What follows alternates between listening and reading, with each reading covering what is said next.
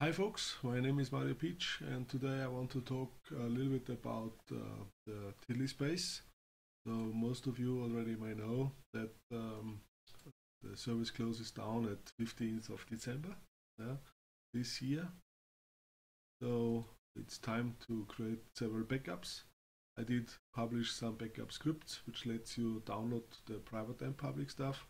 Um, but I personally also want to keep the stuff in the web.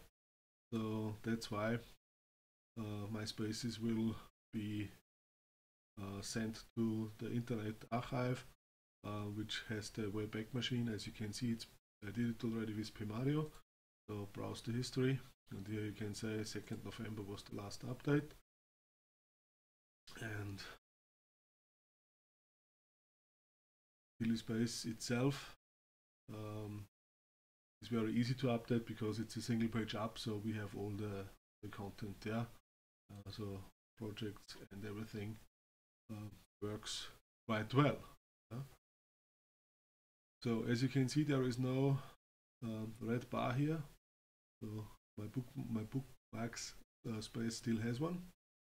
Uh, it's relatively easy to remove. You just uh, go to shadows and then open the style sheet and add a little, a little bit of CSS.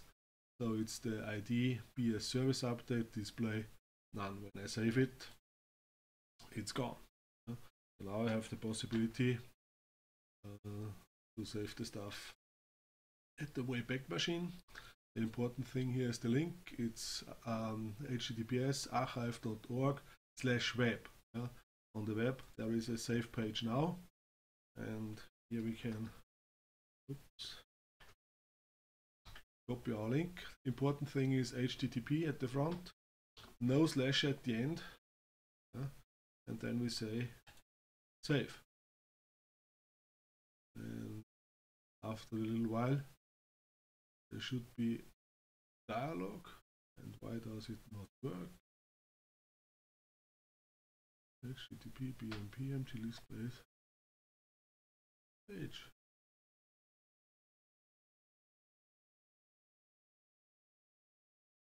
Okay now it works. Okay. Saves the page.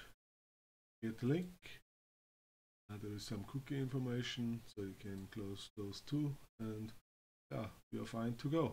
So that's basically it what I wanted to show you. Yeah, so we have a, a very nice way to keep our stuff online uh, with the archive.org slash web the Wayback Machine and this link here.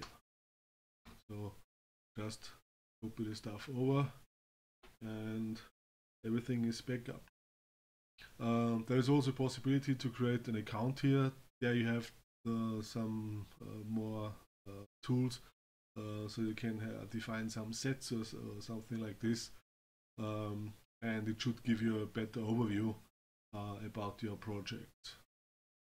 So yeah that's basically it.